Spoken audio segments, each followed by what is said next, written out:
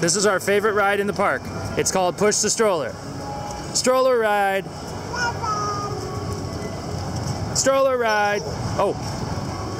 Go get it. Go.